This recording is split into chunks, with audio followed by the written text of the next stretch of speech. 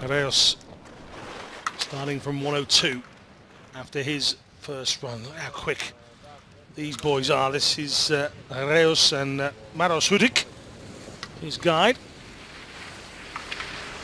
Years of trust and teamwork in these pair. Haraus is a formidable opponent on any day. He's well known for attacking every course and can lead to problems.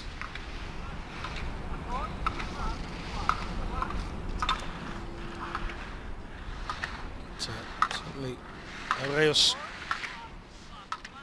gold medal winner in the Super Combined in Pyeongchang. Bronze in the Super G. Shows you that he has the ability and the tenacity to take on any of the mountains that face him.